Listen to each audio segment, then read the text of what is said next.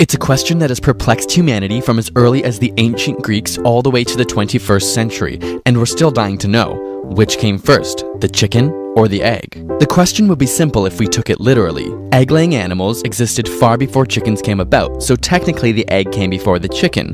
But this question, better worded as the chicken or the chicken egg, focuses more on the cyclical cause and consequence. That is, if a chicken is born from an egg, where did the egg come from? Another chicken, presumably, which too must have come from an egg. So which came first? On the one side, we have Team Chicken. Research suggests that the protein essential for the formation of chicken eggs, called OC17, is only found in chicken ovaries. Without it, the chicken eggshell could not be formed. So, without a chicken, you technically can't get a chicken egg.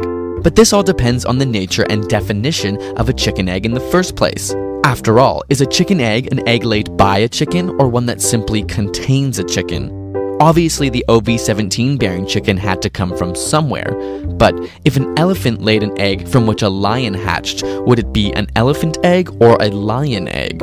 This leads to the other side of the story, Team Egg. During reproduction, two organisms pass along their genetic information in the form of DNA, but the replication of this DNA is never 100% accurate and often produces minor changes for the new organism. These small mutations in DNA over thousands of generations create new species, but these genetic mutations must occur in the zygote or initial cell. So, a creature very similar to a chicken, which we could call a proto-chicken, would have mated with another proto-chicken, and because of a small genetic mutation created the first chicken, which grew in an egg.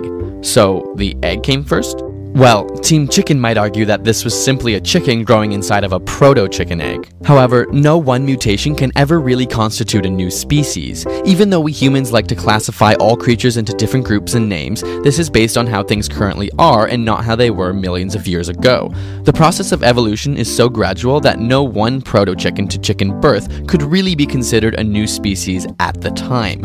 Much like how dogs have come from wolves. As humans began to interact with and domesticate wolves, there was no one single point where a wolf gave birth to a dog, but rather, as particular traits came about from selective pressures, such as choosing wolves who were not afraid of humans or ones that were less aggressive, over many generations we can see big genetic and behavioral trait differences.